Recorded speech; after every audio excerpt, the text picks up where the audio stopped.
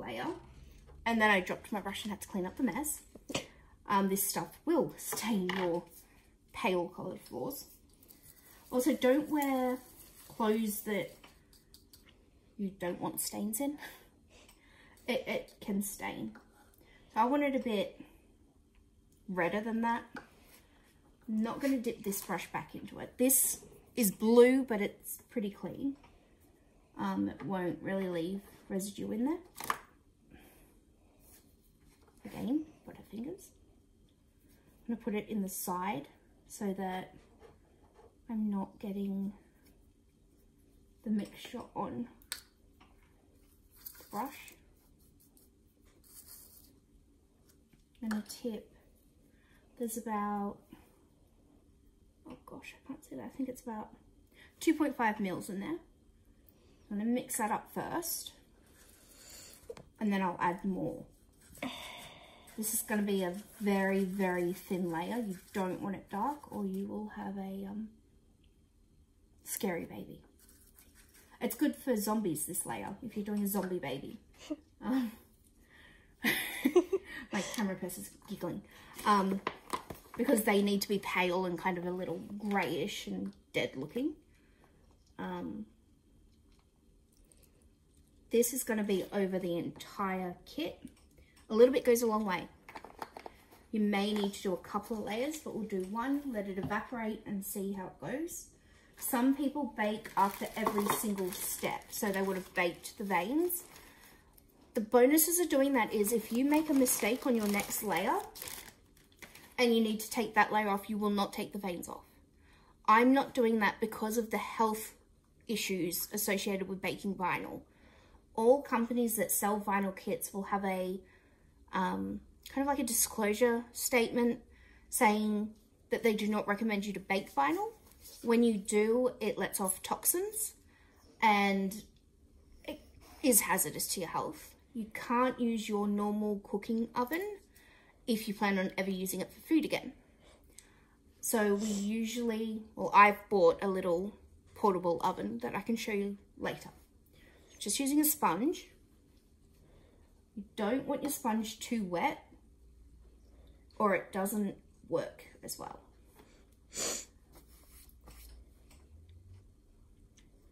When I'm starting a new, like I've just dipped my sponge in the paint, I always start somewhere off the main part of the face. Just want to pounce it, don't rub it, especially if you didn't bake before doing this layer. If you rub, you can disturb the veins. You need to get it into all the creases. It is a very thin layer. It's like a wash. This kit is a fantastic base color kit. It's not too orange. It's not orange at all. Um, some kits are. And if your kit is orange, you need to use different ways of prepping it. So you can use the color wheel method so you use your color wheel, figure out what color the kit is and use the color on the opposite side of the wheel. So if it's orange, you use a blue wash. Washes can be difficult to do because if you do them too dark, you have a blue baby. And as I said before, blue will stain. Blues, greens, purples, they stain.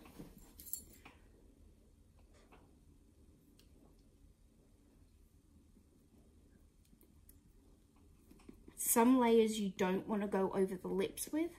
This layer is fine to go over the lips with. I'm going to do it all over the vinyl piece.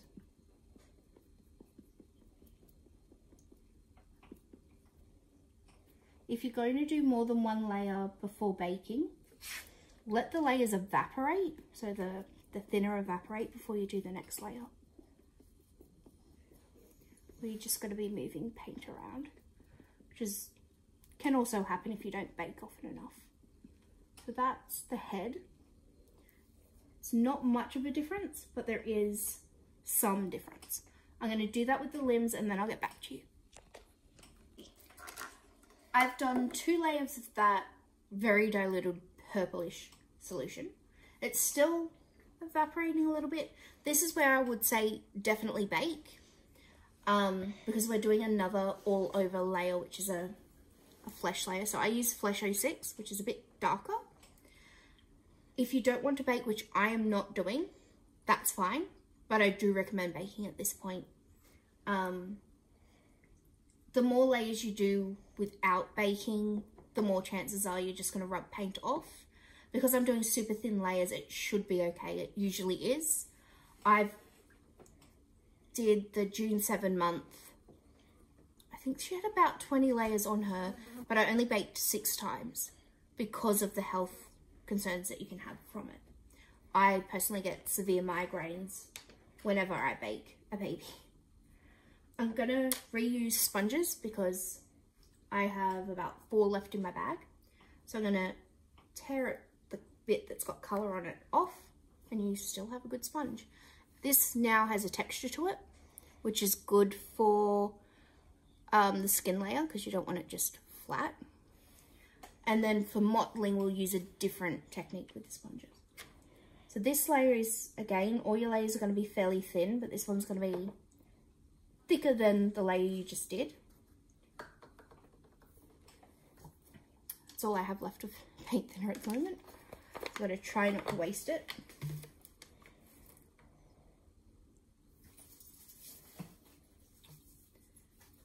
Um, I've said before, a little bit does go a long way. So that little tub of purple I made up would have done another three layers Just mix that through. So it's still watercolor consistency. It's not transparent because of the color. Um, when you're using the sponge, if you have too much on your sponge, you'll get runs. Um, the, the liquid coming from the sponge with the paint will run in places and then you've got to try to dab it because if you leave it running, leave the runs and then you bake that, it will leave marks on the vinyl and you won't be able to get it off once you've baked and it looks terrible. So that, if you look at the sponge, you can see that there isn't much colour in it at all. I'm doing super thin layers. So,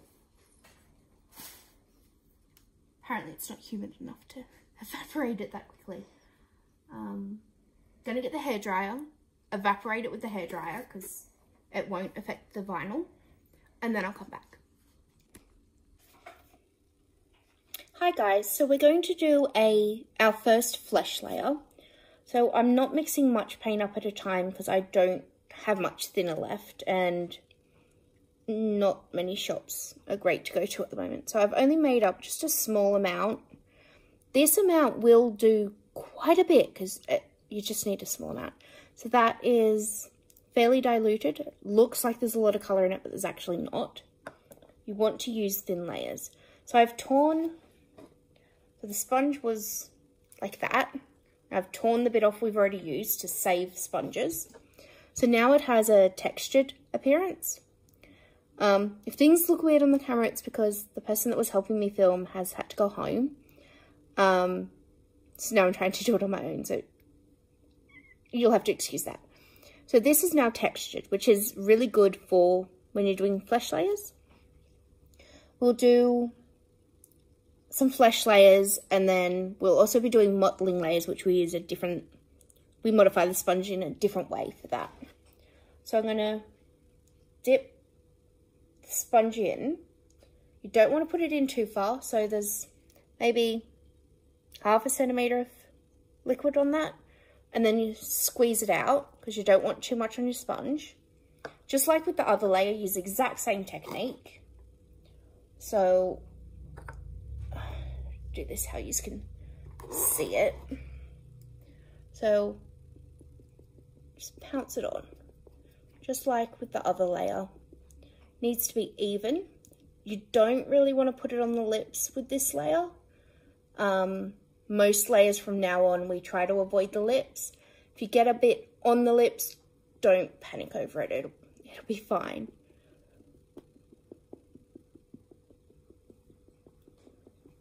the first few layers, now we've done two purplish layers. We're doing a skin coloured layer now. It doesn't, as you can probably see, it, it doesn't really look like you've done much painting at all. you may not notice a color change in your kit, but it will be there. Um, patience is a very big, key, important part when painting vinyl or even silicone babies. You have to be more patient with that. Um, I do paint silicone as well. I will eventually do a tutorial on that. Please excuse my phone. Only time it ever rings or buzzes is usually when I'm busy. I'm just, oh sorry, I'm doing it off camera. Doing it all over. You want to get a nice layer.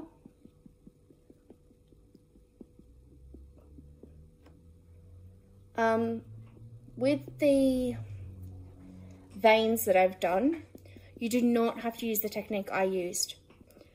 Um, a lot of people don't because it's too easy to do it too thick and too dark.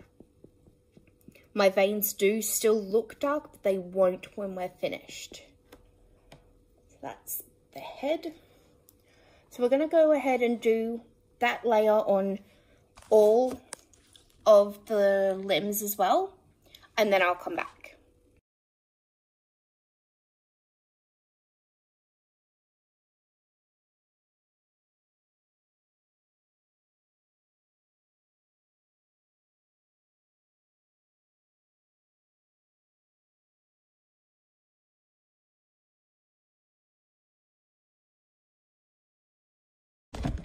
Hey everyone, welcome back.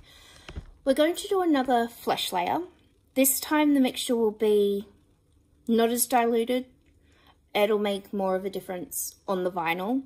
You never want to do thick layers of paint. You always want to do it quite thin.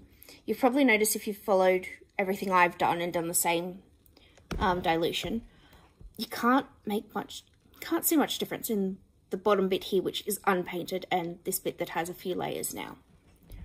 That is going to change this layer. And then the layer we do after this will also dramatically change it. So I'm going to prop the camera up and start that now.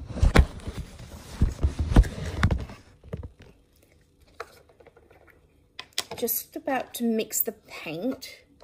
Try to have to hold it up. So I'm going to scoop with a paintbrush um, paint out of here. brush it up put it into container. This is the same container we just used. Um, one pot, even these little tiny pots, do a lot of babies. Um, put a little bit of thinner in it.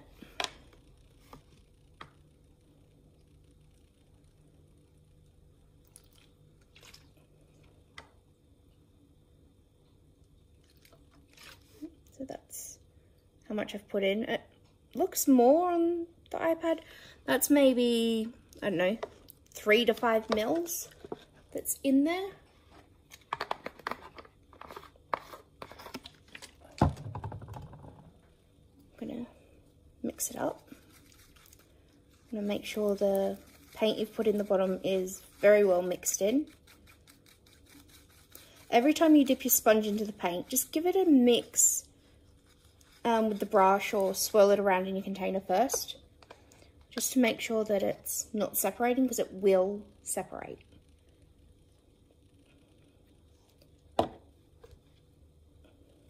Just putting a bit more paint in there. Because there's more colour to this layer, you want to make sure that you don't, definitely don't get runs because you will see it. Um, yeah.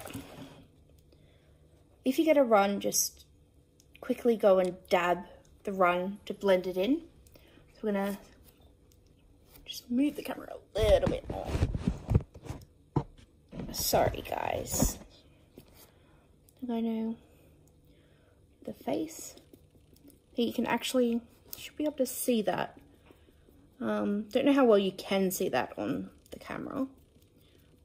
I'll just stop there so you can try and see the difference. So there is, whoops, hang on, nearly dropped him. I can't really see it in this light. There is a difference this time. Just go ahead and do that all over um, on the face. So try not to do too much on the lips. Um, doesn't matter, like I said before, if you get a little bit on there. It's not going to hurt the baby. It's not going to ruin your paint job. Go around the ear, the cheeks. Make sure you get into these grooves, especially he's got a really deep bridge of his nose. Need to really, oops, now we have a run because I pressed too hard. Just quickly go find all your runs and dab them off. It's because I have too much paint or too much thinner in my sponge. So I'm just going to bring it out a bit. Perfect example of what to do if you get a, a run. You need to make sure you get right in there. All your creases. Um, kits with deep creases like this, you can use a paintbrush, which I will do in a second, just to make sure you've gotten into all of the creases. I'm just rotating him. Need a bit more paint.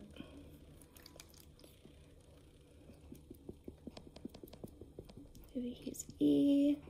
I'm not too worried about getting inside the ear too much at the moment.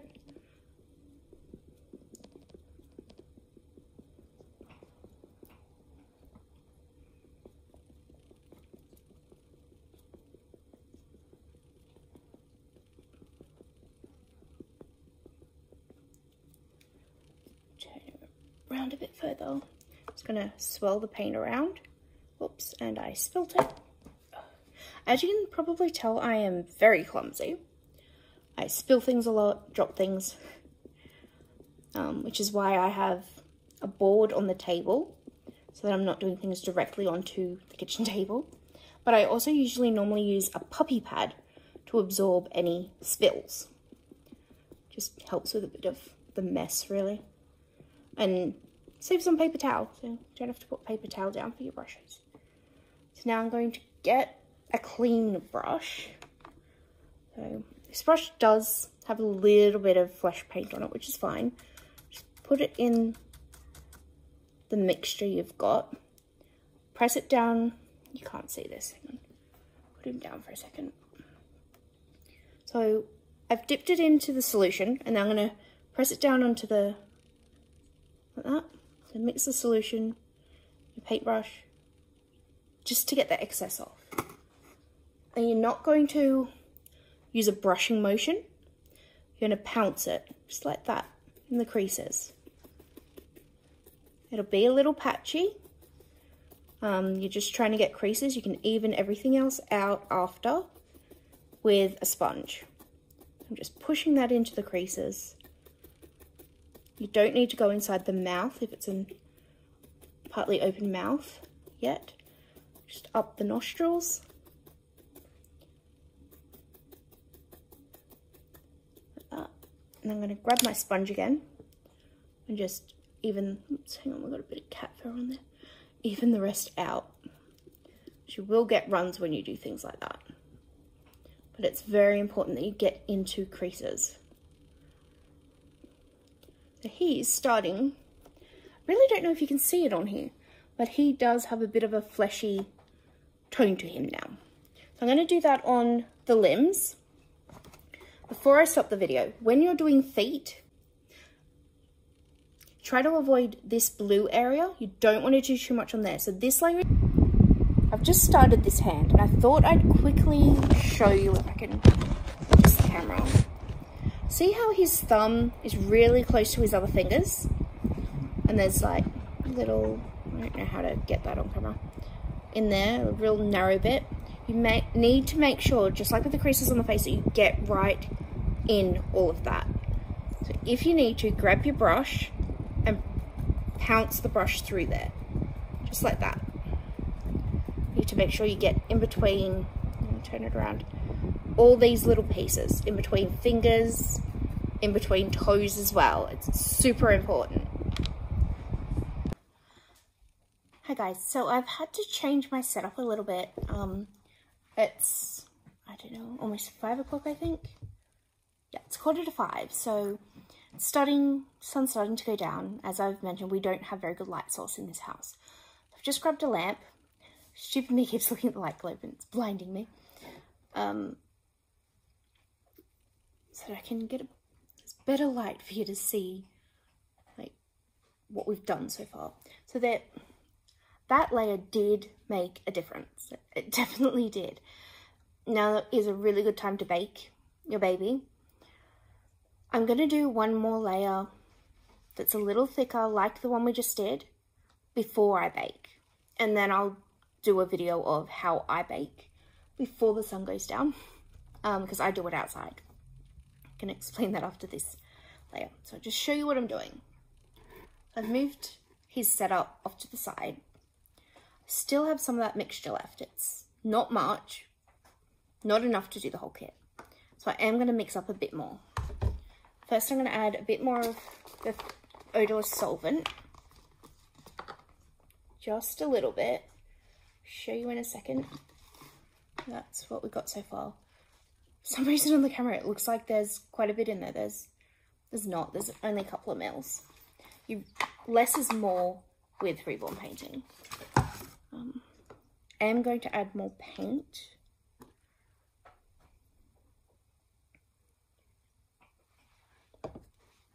It's going to be a thicker layer. Still watercolor consistency, always watercolor consistency. Um, the only exception really with that is the nail tips, which I'll show you at the end. Um, and the veins, I don't use watercolor consistency for those, which I showed you. so I start with the face, as I always do. It's going to be interesting because I'm trying to, I'm not going to be able to see what I'm doing except for in the camera. So it's going to be a little interesting. So this one is a bit darker. It's not mixed properly. Try again.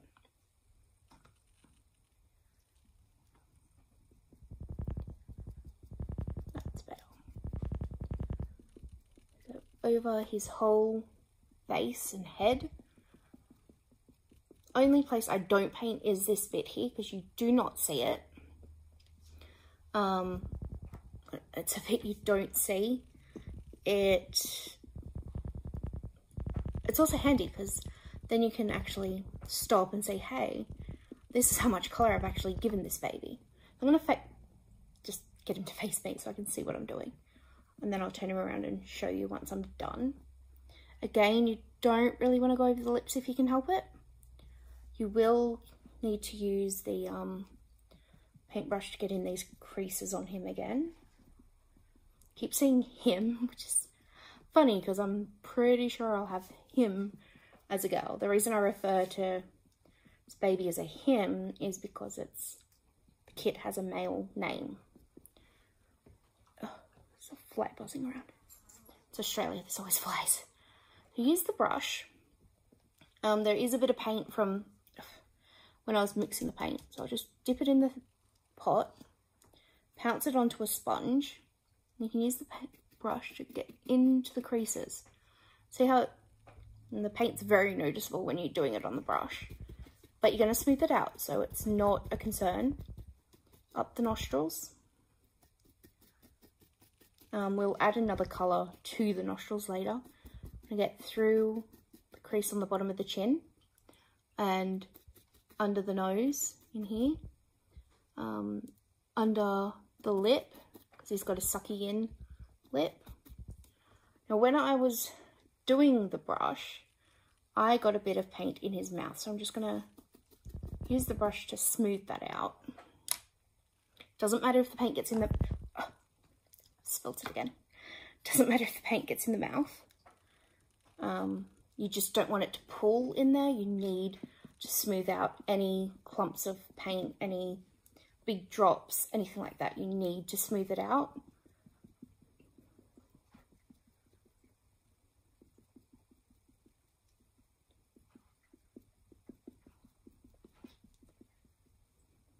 Can always use the other end of your sponge. See, in his ear right now, is a clump of paint. Don't want to leave it there.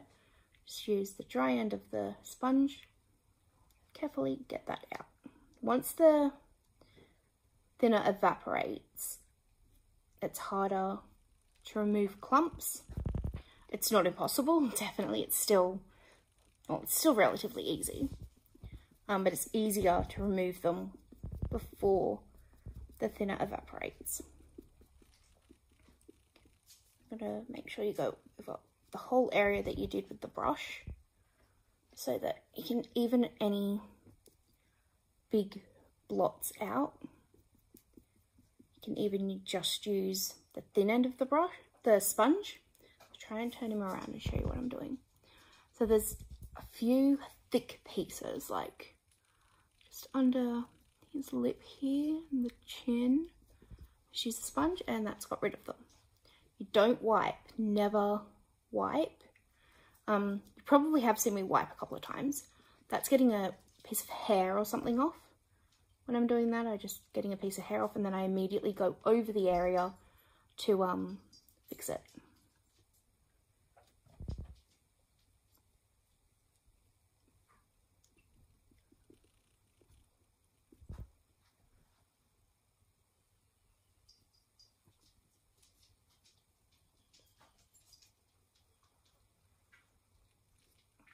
There's bit of a clump in there. I'll have to get a toothpick to fix that. Um, there's a little clump in a crease near his eye that I haven't noticed earlier. And it, the thinner has evaporated from that piece. So now I need to use a toothpick just to scrape it off. I'll show you how to do that. It's, it's not hard. Just going to do the back of his head you should definitely notice a difference in the skin tone now once you've done this layer. Um, we will be baking after this layer, definitely. It, it really has to be done now. If, like me, you haven't baked up until this point, you definitely need to bake now because we're using a completely different colour to do a, an entire coat over the, the full kit, including lips and stuff. So you definitely need to bake now. Oops, nearly dropped him.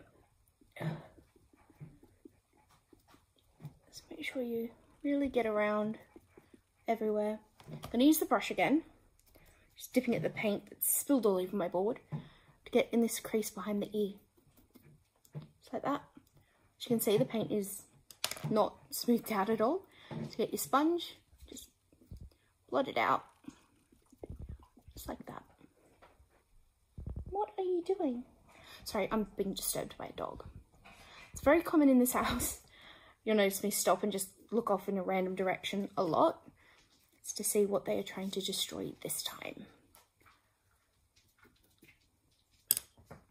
Little destruction derby dogs. Except they're not little dogs. Might introduce you later. So that's the head done. So I don't know if you can tell. The light's not great. Um, there is a difference now. So I'm going to do everywhere else. I'll set up my oven where I normally do it and I'll explain why in that video. And, um, sorry, my cat's on the roof. I have to go. I'll be back.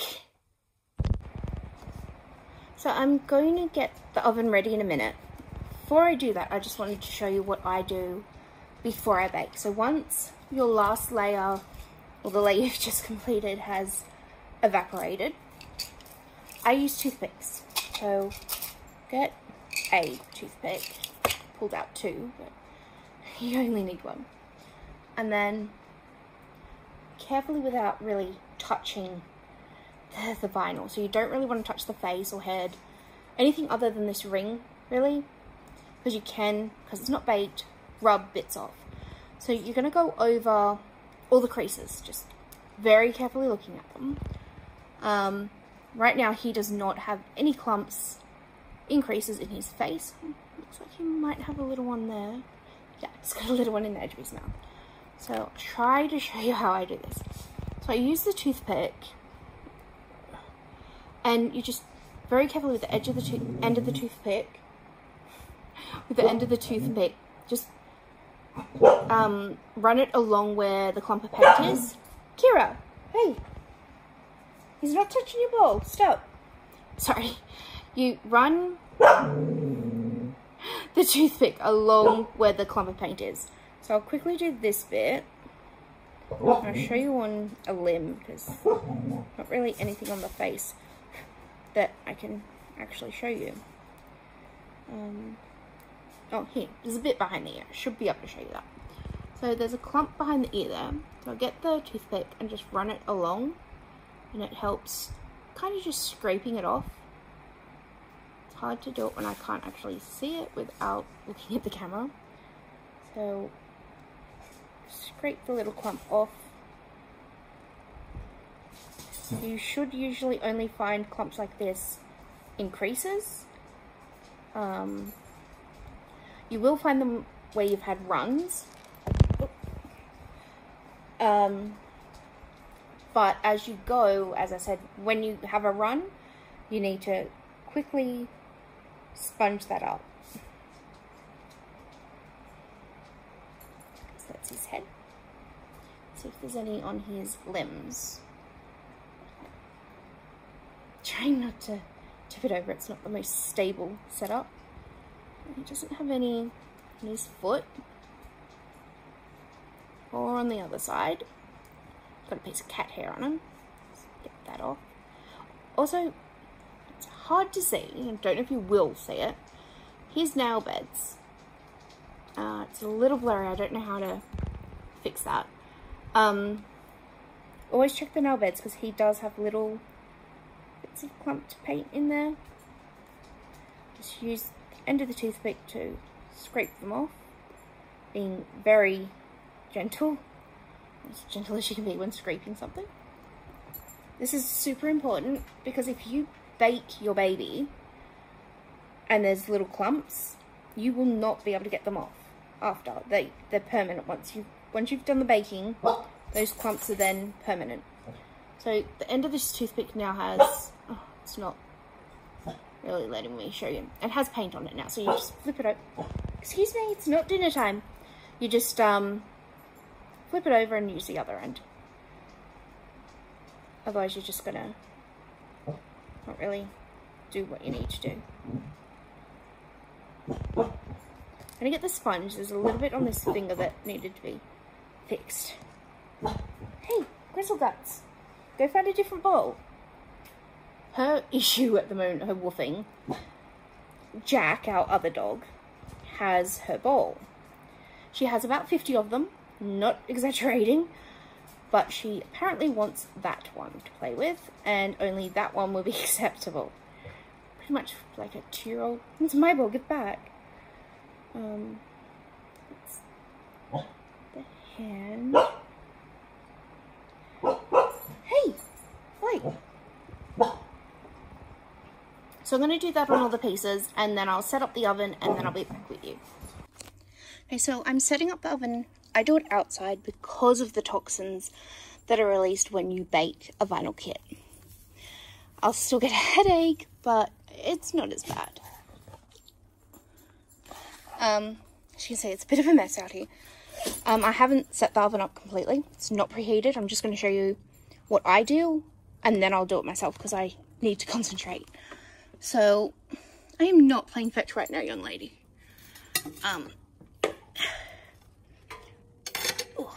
it's a little rack for the hood. Obviously you can't touch it like this when it's on. Um, I have a tea towel in there.